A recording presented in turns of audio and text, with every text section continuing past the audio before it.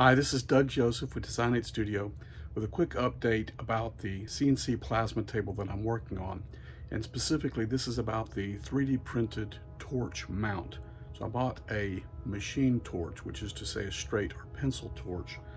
And I'm working to design a 3D printed way to mount the torch on the Lowrider 3 platform that I'm using for printing. So here you can see that my basic approach to getting floating Z was to take a 200 millimeter linear rod that came with two sliding bearings. I'll put a link to the Amazon listing of this in the description. Cutting it in half and using 100 millimeters of it for the floating Z um, uh, to, to be able to have room to move couple of things about that. One is even though this particular name brand of uh, linear rod and sliding bearings was quite affordable, I've been very pleased with the quality and the steel of the linear rod is very hard. These rods, I went to cut this in half. I started using my um, bandsaw with a metal cutting blade on it and it was basically just laughing at that blade. And thankfully, I was able to use my Evolution uh, multi-material cutting saw, which is mounted onto a wall-mounted sliding um, panel saw type rig, which I've mentioned and showed in, showed in another video on my channel, and was able to get it cut. Very pleased with uh, the quality of the steel and the quality of the slide bearings um, even though they were quite affordable. So the next thing to mention is that while I've got this one mounted with two M3 uh, by 8 millimeter screws, the, the next order of business was to be able to get the top and bottom screws mounted in such a way as that they would protrude and provide stop block to limit the range of motion of the slide bearing. And the solution that I came up with was instead of an 8 millimeter screw going with an M3 by 16 and using these uh, knurled uh, inserts that are commonly used for heat inserts and using an M3 by 4 by 5 using it kind of like a modified washer uh, on the 16 millimeter screw. And so that will allow the screw to tighten up long before the head gets down into the uh, countersunk hole on the linear rod. And uh, I'm trusting that that will work. I mentioned one other thing about this part. Uh, these holes are made to go into the, the top two sets of holes are made to go into the holes on the Lowrider 3 core that would normally hold the rings that hold your router in place. And the bottom two holes are made to align with the screw holes on the core that would normally hold your, your dust extraction ring set on. The other thing is that the wing protruding on this side is for mounting an end stop switch. And that is so that the floating Z uh, knows uh, when to trigger.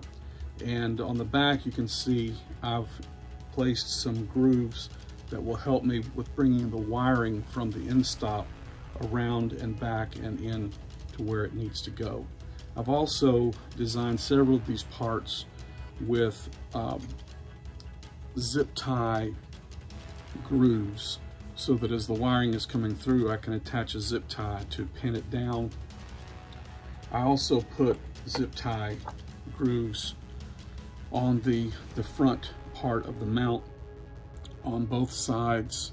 Um, and there are zip tie mounts on this protrusion, which is for holding uh, a pin, like a, like a felt tip or Sharpie pin, attaching it to the plasma cutter so that I can run it without the plasma cutter working to have a pin mark fold points or other details on the metal. This uh, pin attachment is basically a remix of earlier pin attachment remixes for Lowrider 2 and Lowrider 3 just simply amalgamated in with this front clamp. Uh, finally, the last thing I'll mention in this video is that my plan is for a magnetic breakaway type attachment.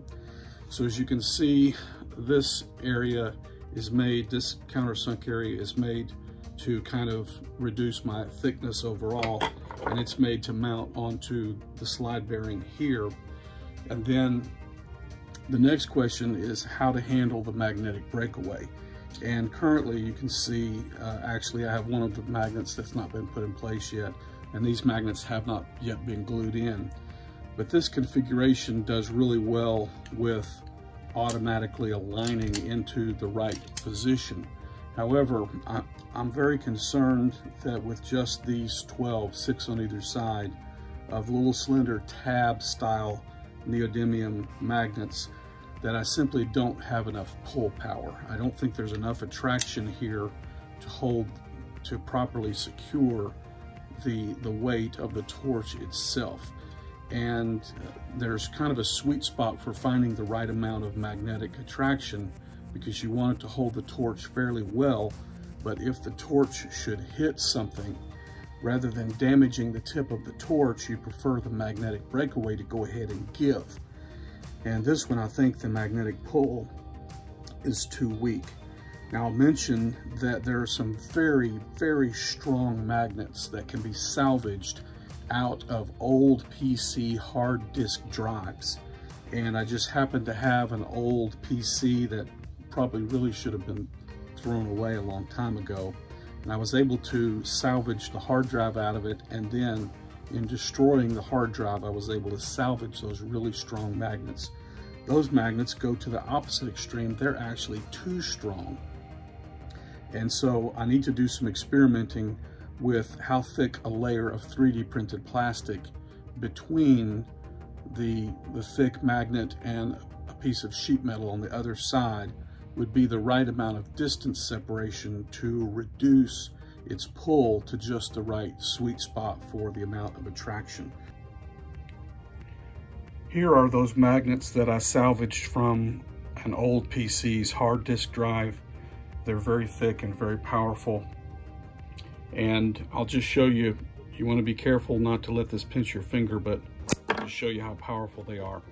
Um, that'll really hurt you if you if it pinches your finger. Um, these pieces of metal that the magnets are attached to, it came from the hard drive this way. There were some tabs, uh, some uh, attachment tabs or, or, control tabs that were sticking off of these pieces of metal that I had to cut off using my Portaband. And uh, I may, there's a way to get these thick pieces of metal off of these magnets, but I may just leave them on there because they give me screw holes for attaching the magnets where I want to. So I'll probably just deal with the fact that that adds some extra thickness. Um, I think 3.7 millimeters, 3.75 millimeters of extra thickness for these metal uh, pieces would, would add into the equation for how thick my um, torch mount is. And I may just deal with that because I like the fact that it gives me a really solid way to mount these and, and secure them in place. But I wanted to go ahead and show these very powerful magnets that I salvaged from the PC hard drive. Uh, but assuming that the magnet issue was taken care of, the way that this all would go together is that uh, this would mount onto the, the slide bearing in, in this fashion. And then this part would attach magnetically on here. And then finally, the torch would go in here and be clamped in place. And um, there, there is an option of doing heat inserts here so that the screws have something to bite in. However, this design simply uses nylock nuts inserted into capture slots on the back. Uh, I may have to switch to the heat inserts method if I switch to a design that has uh, sockets here for those large thick magnets that I got out of the hard disk drive. Uh, the last thing that I'd mention is that this particular design with the uh, capture slots for the nylock nuts uh, accomplishes a good clean print by having a single layer thin sacrifice layer where the hole transitions from the capture slot down to the screw hole. So you can't really see it on the camera, but down inside these holes, there's a tiny layer of plastic that needs to be melted out with a soldering iron to clear it out in order for the screw to pass through. And that's a trick for designing your uh, 3D printed parts when you need to print it down on the bed here and you need to transition from a capture slot down to a smaller hole and you want a good clean transition, that one layer thick sacrifice layer trick is a good handy trick to know. The issue with this one where the magnet is not yet inserted is that I had a bit of elephant's foot on this print and I was using an X-Acto knife to clean it up and I cleaned this one up just a little too much. The magnet doesn't uh, position itself real well in the hole so it would depend on the glue if I was going to glue these in. But I think based on the fact that these are too weak for what I'm doing, I'm going to pry them back out and use them on some other project.